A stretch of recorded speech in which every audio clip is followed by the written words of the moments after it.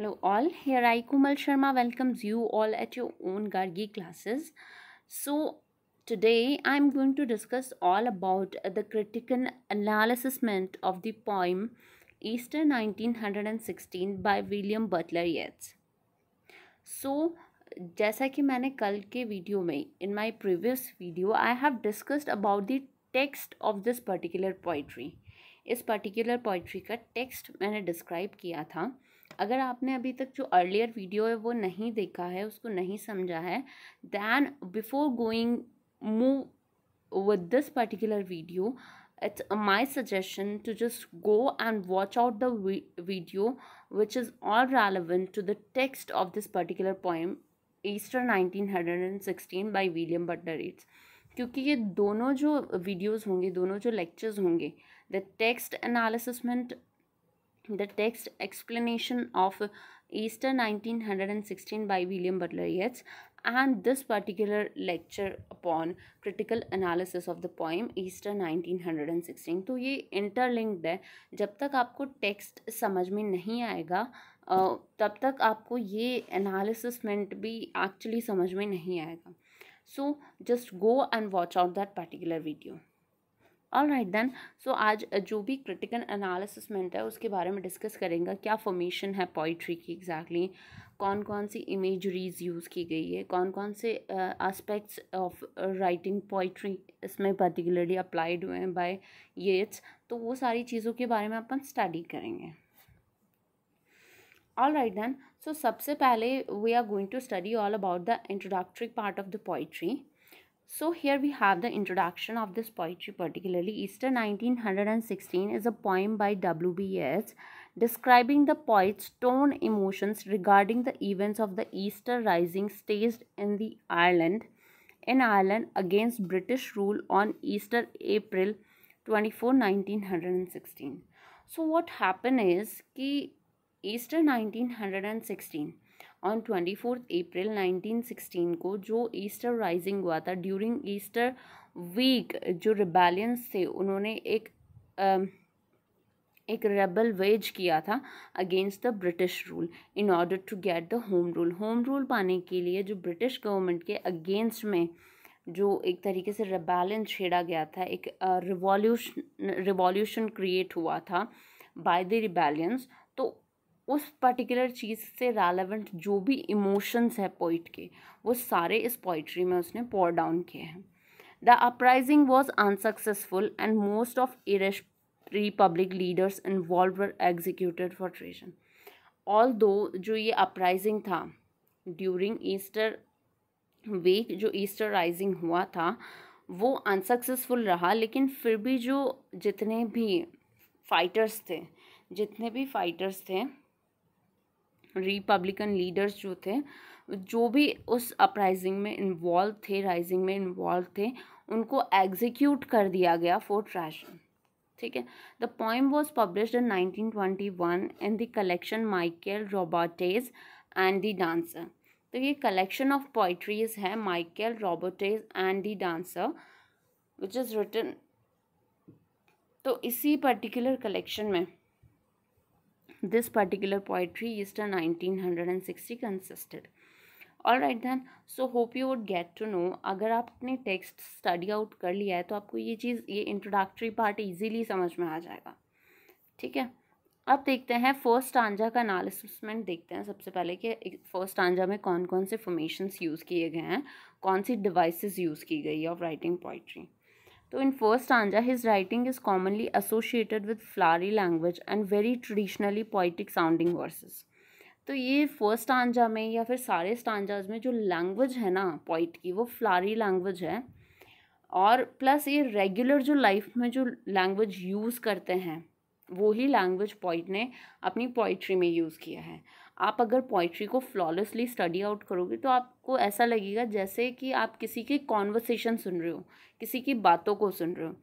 ठीक है? तो डिफ़िकल्ट वो जो टिपिकल वाला पोइट्री कॉन्सेप्ट कॉन्सेप्ट यूज़ नहीं किया गया इसमें। The lines are simplified just as a speech is to these revolutionaries ये जितने भी रिवॉल्यूशनरीज थे, इनके बारे में ऐसा लग रहा है जैसे कोई स्पीच डिलीवर कर रहा हो। तो एक फ्लारी लैंग्वेज है। There are certain phrases such as mocking tale or a jibe which also speak to the poet poet's tone towards the subjects तो इसमें बहुत सारी फ्रेजेस यूज़ की गई हैं फॉर एग्जांपल मॉकिंग टेल और अजायब तो ये उन सारे सब्जेक्ट्स जो भी जो भी रिवॉल्यूशन रिवॉल्यूशनरीज थे उनके उनके लिए जो भी फीलिंग्स थी पॉइंट की वो एक्सप्रेस होती है इन फ्रेजेस के थ्रू उन डायलॉग्स के थ्रू ठीक है? तो जो लैंग्वेज है बहुत ही सिंपल लैंग्वेज है डायलॉग वाली लैंग्वेज है। ऑल राइट right, तो अब जो फ़र्स्ट आंजा में कहाँ मेटाफर यूज़ हुआ है अब उसके बारे में स्टडी करेंगे। मेटाफर के बारे में आपको सबको पता होगा। Metaphor is a part of imageries जहाँ पे दो चीज़ों को दो अलग अलग चीज़ों का कंपैरिजन होता है without using the words as और लाइक मतलब ऐसे वर्ड्स यूज़ नहीं किए जाते हैं जिससे ये क्लियर हो कि यहाँ पे कंपैरिजन हो रहा है। डायरेक्ट कंपैरिजन होना किसी चीज़ से। ठीक है? Towards the end of this stanza ये introduce the subtle but powerful metaphor of the motley being certain that they and I but live where motley is worn तो यहाँ पे जो पॉइट है लिव्ड वेयर मोटली इज़ वॉन्ट तो यहाँ पे मॉटली जो वर्ड है वो एज अ मेटाफर यहाँ पे यूज़ हुआ है। क्यों? क्योंकि मॉटली का एग्जैक्टली exactly मतलब होता है बहुत सारी चीज़ों को वेयर करके चलना, ठीक है?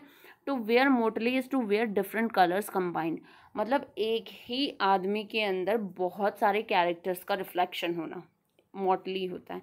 वैसे अगर एक इंसान अलग अलग कलर के ड्रेसेस पहनता है या अलग अलग कलर के मास्क लगाता है या फिर कुछ भी चीज़ मान सकते हैं तो एक ही पर्सनालिटी में बहुत सारे कलर्स जब दिखाई देते हैं कंबाइंड कलर्स दिखाई देते हैं तो उसको मोटली कहा जाता है।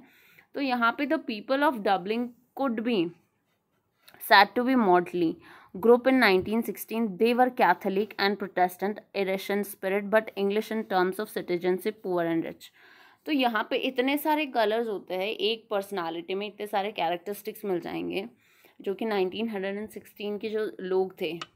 आइलैंड के जो लोग थे वो on a one point they are Catholic भी थे प्रोटेस्टेंट भी थे। इरिश उनमें स्पिरिट हुआ करती थी इंग्लिश टर्म्स हुआ करते थे और उनके सिटीजनशिप हुआ करती थी और पुअर और रिच का उनमें डिफरेंस हुआ करता था। तो एक ही पर्सनालिटी में बहुत सारे कैरेक्टरिस्टिक्स दिखना ही क्या होता है? मोटली uh, होता है और उसको as a metaphor at the end of the stanza ये चीज़ यूज़ की गई है। ठीक है? तो फ़र्स्ट स्टांजा में जो मेटाफर है, वो इन लाइंस में है, ठीक है? जहाँ पे मोटली जो पर्टिकुलर वर्ड है, वो है मेटाफर ऑल राइट जब भी आपके कोई भी क्वेश्चन आएगा relevant to anything for example आपको क्वेश्चन पेपर में अगर एक पर्टिकुलर किसी भी पोइट्री की लाइंस दे सकते हैं सेवन एक स्टांजा दे दिया तो आपको आइडेंटिफाई करना है कि उस पर्टिकुलर जो स्टांजा है, उसमें कौन कौन से डिवाइसेस यूज़ की गई है पोइट्री कौन सी है? पोइट्री का एनालिसिसमेंट करने का तरीका मैं आपको यहाँ पे क्लियर बता रही हूँ। इसी तरीके से आपको एग्ज़ाम पेपर में भी अगर आप पॉइंट आउट करते हो सिंगल सिंगल चीज़ों को एक एक चीज़ों को पॉइंट आउट करते हो तो those will help you in getting good marks in your exam all right second जो डिवाइस uh, है इनटू द फ़र्स्ट आंजा वो है ऑक्सीमोरॉन ऑक्सीमोरॉन एग्जैक्टली क्या होता है? साथ में जब टुगेदर दो अलग अलग चीज़ों को प्रेजेंट किया जाता है, जैसे black and white black white तो ये क्या हो गया? ब्लैक अलग हो गया वाइट अलग हो गया. तो दो बिल्कुल ऑपोजिट चीज़ों को एक साथ सेटल डाउन करना ही ऑक्सीमोरॉन होता है. यहाँ पे कौन सा है? This stanza ends with the refrain that will mark all the stanzas of the point इस स्टांजा की लास्ट में लाइन है, अगर आपने पोइट्री को अच्छे से पढ़ा होगा तो. A terrible beauty is born terrible beauty is born एक ऑक्सीमोरॉन है, जहाँ पे टेरिबल और ब्यूटी दोनों अलग अलग चीज़ें हैं ऑपोजिट सेंटिमेंट्स हैं, लेकिन उन दोनों को एक साथ सेटल आउट किया गया है। तो यही ऑक्सीमोरॉन होता है। Terrible and beauty are opposite sentiments and speak to the concept of the sublime in which horror and beauty can exist simultaneously तो हॉरर और ब्यूटी को एक साथ एग्जिस्ट कराना, एक दूसरे के साथ साइमल्टेनियसली वो क्या होता है? ऑक्सीमोरॉन होता है। The Easter rising was terrible because of its violence and loss of life.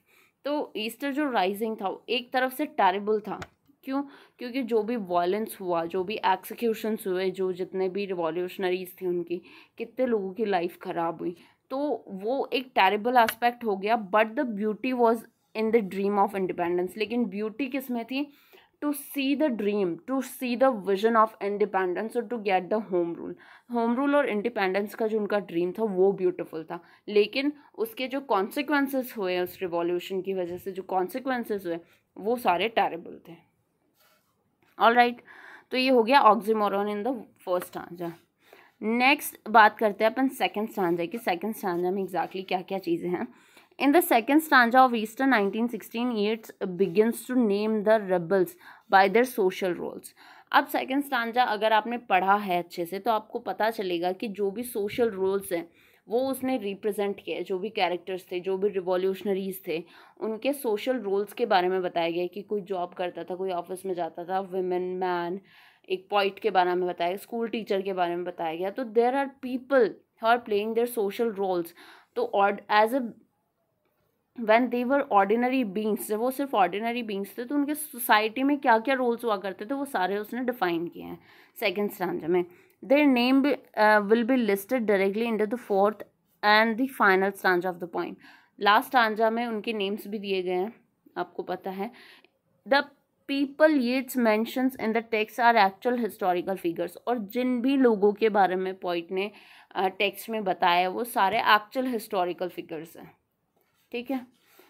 Third stanza में देखते हैं कौन कौन सी डिवाइसेस है। The third stanza of Easter 1916 introduces an extended pastoral metaphor third stanza में एक एक्सटेंडेड पेस्टोरल मेटाफर है, जहाँ पे ग्रीनरी बताई गई है, एक ऐसा माहौल बताया गया है फ़ार्मिंग वाला माहौल बताया गया है, ठीक है, जहाँ पे क्लाउड्स हैं स्ट्रीम्स हैं ग्रीनरी हैं चारों तरफ़।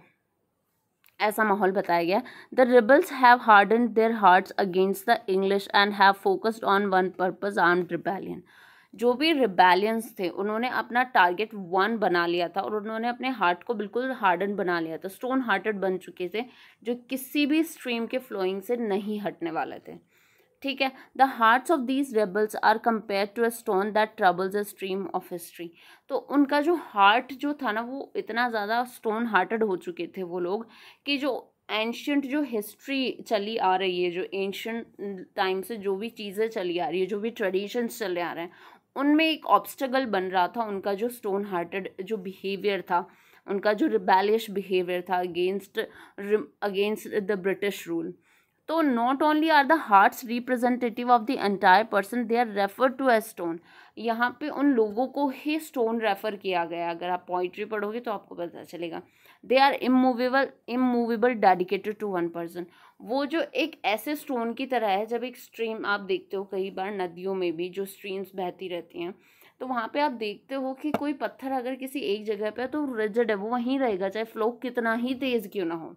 तो वैसे ही जो एंशंट स्ट्री जो भी ट्रेडिशन एंशंट टाइम से जो भी ट्रेडिशन चला आ रहा है फ्लोलेसली चला आ रहा है, उसमें इनका जो स्टोन हार्ट है, वो एक तरीके से ऑब्स्टिकल क्रिएट कर रहा है उस ट्रेडिशन को फ्लो होने में, ठीक है? तो ये सब कुछ है थर्ड स्टांजा में। फोर्थ और फाइनल स्टांजा में एग्जैक्टली exactly क्या क्या चीज़ें हैं? Green is the traditional colour associated with Ireland the emerald isle तो जो ग्रीन कलर जिसके बारे में यहाँ पे डिस्क्राइब किया गया है to the fourth and the final stanza तो ये जो ग्रीन कलर है वो एग्जैक्टली आयरिश कलर है ठीक है? और ये आयरलैंड के फ्लैग में भी दिखता है। It is also the colour of the original Irish flag ये जो कलर है सो so, ये जो कलर है green colour which is originally in Irish flag तो at the end of the Easter nineteen hundred and sixteen years reconciles himself to the fact that wherever green is won people will remember the sacrifices of the rebels in 1916 तो जब जब ये flag host होगा, जब ये भी ये flag दिखेगा, जब जब यहाँ पे ग्रीनरी दिखेगी, तब तक जो भी ये इन लोगों ने, जो भी रिबेलियंस रहे हुए हैं, उन्होंने जो सेक्रीफाइसेस किए हैं, उनको याद किया जाएगा, जो कि 1916 अपराइजिंग में हुआ था। अब देखते हैं बेसिकली इस पूरी पोइट्री का फॉर्मेशन क्या है, किस फॉर्म में ये पोइट्री लिखी गई है। अब तक सांझा इसके बारे में बात कर रहे थे हम। अब थरली पोइट्री के बारे में स्टडी आउट करेंगे कि एग्जैक्टली exactly इसका फॉर्म फॉर्मेशन कैसा था। So the stanzas of Easter 1916 intentionally have an irregular line length and metre her stanza का अपना अलग लेंथ है, अलग मीटर है। Irregular lines length and metre है हर एक स्टांजा की। Stanza first and third are divided into 16 lines. Stanza first और थर्ड का जो लाइंस है, फ़र्स्ट में भी सिक्सटीन लाइन्स है और थर्ड में भी सिक्सटीन लाइन्स है representing both the year 1916 and the 16 men who were executed after the Easter Rising. तो जो 16 है, वो बेसिकली 1916 ईयर को भी रिप्रेजेंट करता है प्लस उन 16 रिबेलियंस को भी रिप्रेजेंट करता है जो एग्जीक्यूट हो गए थे after Easter rising so these stanzas also are scenic in character, invoking the landscape of Dublin city and the surrounding Irish countryside. Stanzas second and fourth are about specific people involved in rising. Stanza second और fourth है वो उन लोगों के बारे में specifically जो इस राइजिंग में इन्वॉल्व थे ठीक है and there are twenty four lines in second and fourth stanza second and fourth stanza में ट्वेंटी फोर लाइन्स है. Symbolising the fateful day of the month on which the rising begin April twenty four nineteen hundred and sixteen so first and third stanza में जहाँ पे sixteen lines है, वो represent करता है year nineteen hundred and sixteen और उन numbers of rebellions को जो जो कि एग्जीक्यूट हुए थे after Easter rising all right and जो स्टांजा सेकेंड एंड फोर्थ है, जहाँ पे ट्वेंटी फोर लाइन्स है तो वो ट्वेंटी फोर अप्रैल को रिप्रेजेंट कर रहे हैं और एग्जैक्टली फोर स्टांजाज जो हैं, वो अप्रैल मंथ को रिप्रेजेंट कर रहे हैं। तो आपको समझ में आ चुका होगा कि ये जो रेगुलरिटी ऑफ़ लाइन लेंथ और मीटर है, वो एग्जैक्टली exactly उसका पर्पज़ क्या था। All right then so this is all about the critical analysis of the poetry Easter nineteen hundred and sixteen all right यहाँ पर मैंने एक पिक्चर ली है जो कि उस डिस्ट्रैक्शन को रिफ्लेक्ट कर रही है जो उस ड्यूरेशन में हुआ था। All right then so thank you so much for watching this video do subscribe the channel don't forget to press the bell icon to get the notification of our each video and do like the video if you think whatever information I have been provided here all according to your knowledge is all enough then do like and so thank you so much and stay connected with Gargi classes